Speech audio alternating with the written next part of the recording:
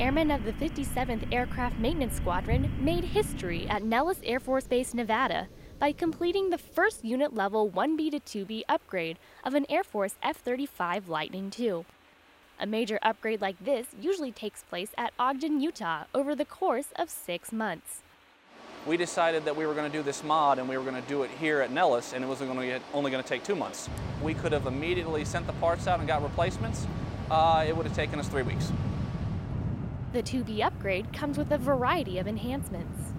So the 2B uh, gives nine different components to the aircraft. It gives you uh, different cameras and it also gives the pilot proof vision through his uh, helmet display.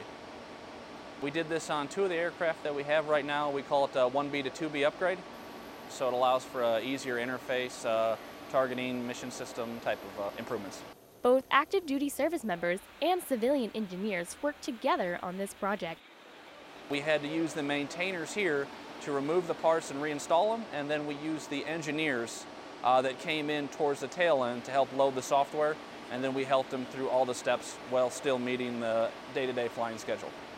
So the fact that we were able to do this modification with the low manning that we have and then meeting the flying schedule really uh, gives me a lot of pride in what I do. Sergeant Fitter and his team will play a key role in these F-35's enhancements again when the aircraft undergoes the 2B to 3B upgrade sometime this fall. Airman Megan Qualls, Nellis Air Force Base, Nevada.